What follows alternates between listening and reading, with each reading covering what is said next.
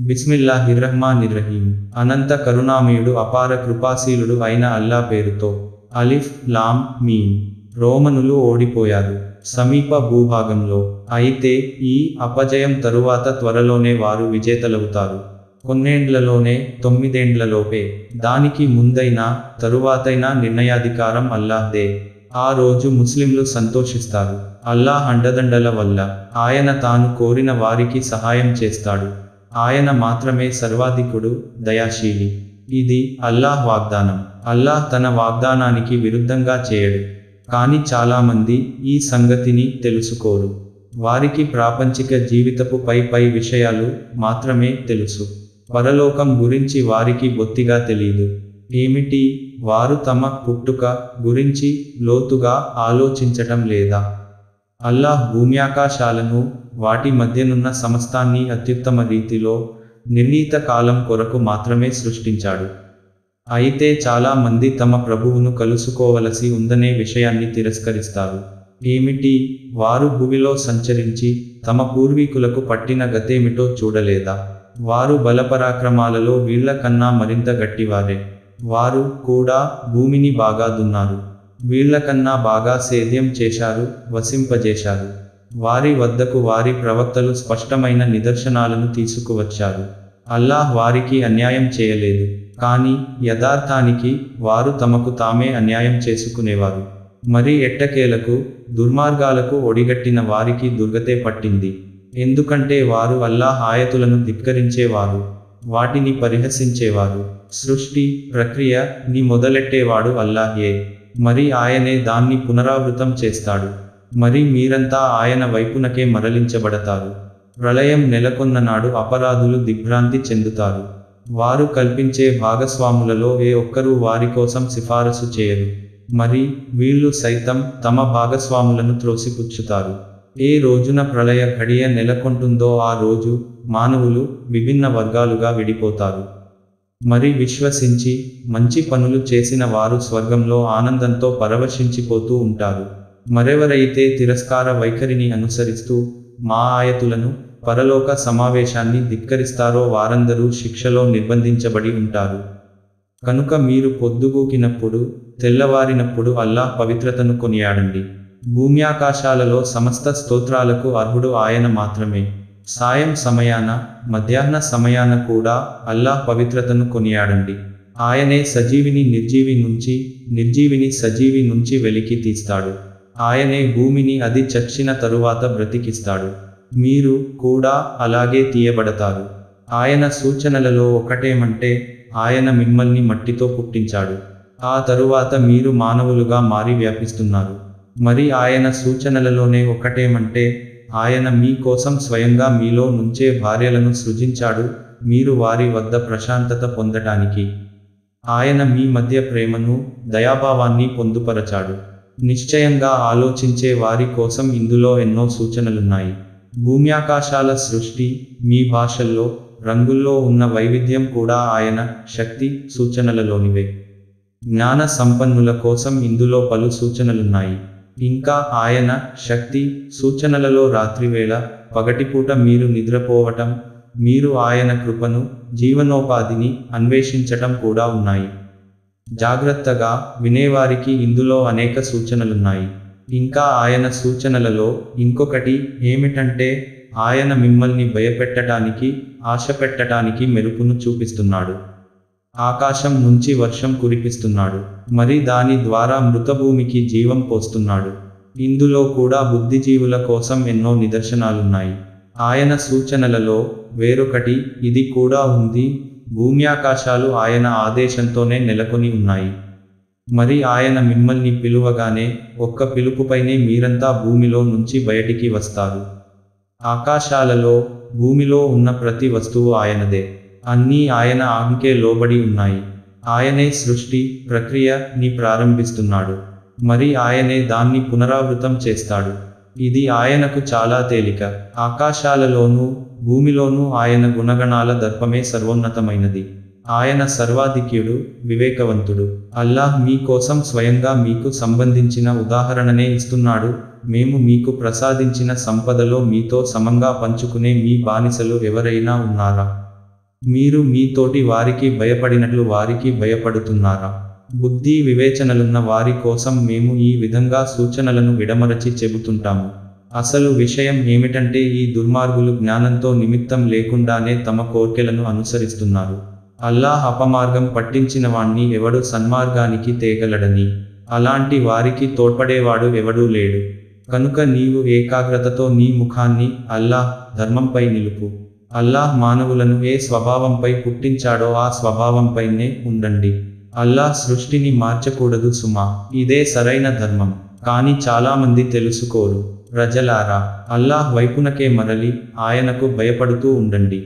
నమాజును నెలకొల్పండి ముష్రికులలో చేరకండి. వారు తమ ధర్మాన్ని ముక్కచెక్కలు చేసేశారు. వారు సైతం విభిన్న ముఠాలుగా చీలిపోయారు. ప్రతి ముఠా తన దగ్గర ఉన్న దానితోనే తెగ సంబరపడిపోతోంది. ప్రజల పరిస్థితి ఎలాంటిదంటే వారి పై ఎప్పుడైనా ఏదైనా ఆపద వచ్చి పడితే తమ ప్రభువు వైపునకు పూర్తిగా మరలి ప్రార్థనలు చేస్తారు. మరి ఆయన తన తరఫు నుంచి కారుణ్య రుచిని చూపించగానే వారిలోని ఒక వర్గం తమ ప్రభువుకు సహవర్తుల్ని కల్పించసాగుతుంది. మేము వారికి అనుగ్రహించిన దానిపై కృతజ్ఞత చూపటానికి సరే లబ్ధి పొందండి. అతి త్వరలోనే పరిణామం మీకు తెలిసిపోతుంది. ఏమిటి? వారు పాల్పడే షిర్కును సమర్థిస్తూ మాట్లాడే ప్రమాణాన్ని దేన్నైనా మేము వారిపై దించామా? మరి మేము ప్రజలకు కారుణ్యం రుచిని చూపించినప్పుడు వారు ఆనందంతో ఉబ్బిపోతారు. మరి ఒకవేళ తమ చేజేతులా చేసుకున్న చేష్టల మూలంగా వారికి ఏదైనా కీడు కలిగితే మాత్రం పూర్తిగా నిరాశ చెందుతారు. ఏమిటి? అల్లాహ్ తాను కోరిన వారికి విస్తృతంగా జీవనోపాధిని ఇచ్చి తాను కోరిన వారికి కుదించి ఇవ్వటాన్ని వారు చూడలేదా? నిశ్చయంగా ఇందులో కూడా విశ్వసించే వారికి సూచనలు ఉన్నాయి. కనుక సమీప బంధువుకు అతని హక్కును ఇవ్వు. అగత్యపరునికి బాటసారికి కూడా వారి హక్కులను ఇవ్వాలి. అల్లాహ్ సమ్ముఖ దర్శన భాగ్యం పొందగోరే వారికి ఈ పద్ధతి ఉత్తమమైనది. సాఫల్యం పొందేవారంటే వీరే. ప్రజల సొమ్ములలో చేరి వృద్ధి చెందుతుందన్న ఉద్దేశంతో మీరు ఇచ్చే వడ్డీ అల్లాహ్ దృష్టిలో ఎంతమాత్రం వృద్ధి చెందదు. అయితే అల్లాహ్ ముఖాన్ని చూచేందుకు ప్రసన్నతను చూరగొనేందుకు మీరు జకాతు దానం ఇచ్చినట్లయితే అలాంటి వారే తమ సంపదలను ఎన్నో రెట్లు వృద్ధిపరచుకున్న వారవుతారు. ఆ అల్లాహ్ ఏ మిమ్మల్ని సృష్టించాడు తర్వాత మీకు ఉపాధిని సమకూర్చాడు మరి ఆయనే మిమ్మల్ని చంపుతాడు ఆ తరువాత మిమ్మల్ని బ్రతికిస్తాడు. చెప్పండి ఈ పనులలో దేన్నైనా చేయగలవాడు మీరు కల్పించే భాగస్వాములలో ఎవడైనా ఉన్నాడా? వారు కల్పించే భాగస్వామ్యాల నుండి అల్లాహ్ ఎంతో పవిత్రుడు ఉన్నతుడు. ప్రజలు చేజేతులా చేసుకున్న పాప కార్యాల మూలంగానే భూమిలోనూ సముద్రంలోనూ కల్లోలం వ్యాపించింది. వారు చేసుకున్న కొన్ని చేష్టల ప్రతిఫలం అల్లాహ్ వారికి చవి చూపించటానికి ఇలా జరిగింది. బహుశా వారు దీనివల్ల దారికి తిరిగి రావచ్చేమోనని కూడా ఈ విధంగా జరిగింది. ఓ ప్రవక్త వారికి చెప్పు భూమిలో సంచరించి మీ పూర్వీకులకు ఏ గతి పట్టిందో కాస్త చూడండి. వారిలో అనేకులు ముష్రికులే. కనుక ఓ ప్రవక్త ఏ రోజు అల్లాహ్ తరఫు నుంచి తొలగిపోయే అవకాశం ఎంతమాత్రం లేదో ఆ రోజు రాకముందే నీ ముఖాన్ని సత్యమైన స్థిరమైన ధర్మం వైపు మరల్చుకో.